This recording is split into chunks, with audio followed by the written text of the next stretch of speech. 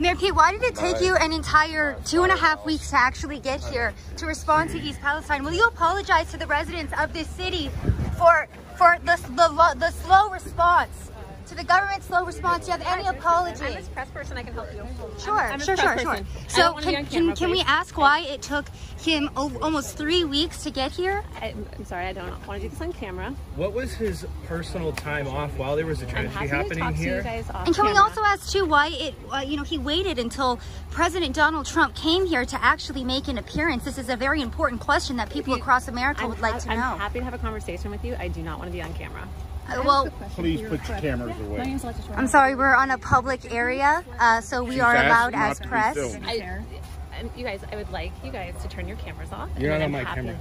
Well, I'm on a con- camera. I would like your cameras to be off, and then I'm happy to talk to you guys. Well, if you're the press secretary of the Secretary of the Department of Transportation, don't you think you should be able to ask questions from the American public that you serve? Absolutely, I would like to do it without the camera on. Can I ask why? I think that is a little bit aggressive. That's why. and Why is it you to aggressive?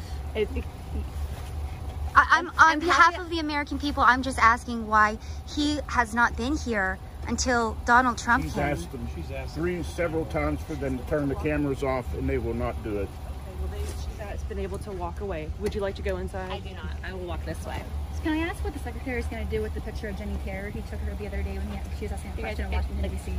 I'm happy to answer your questions. I would like you guys to not have your cameras on. I I had my camera off a minute ago. If I turn it off, we you all have your cameras on. I can see them. You guys, I'm happy to have this conversation. Like, All right, y'all. So we are with the press Okay, secretary for Pete is Buttigieg, and right now we are being told I have my that we are not pocket. Can you supposed to be question? filming. Again, we are Well, here right on behalf now, of the American public able to have this because we would like to with you because have the conversation and we would like to ask the question as to why, um, again, it took almost three weeks for Buttigieg, Pete Buttigieg to be here on the ground.